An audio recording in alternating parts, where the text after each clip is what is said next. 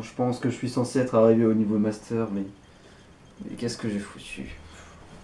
J'ai mal à la tête.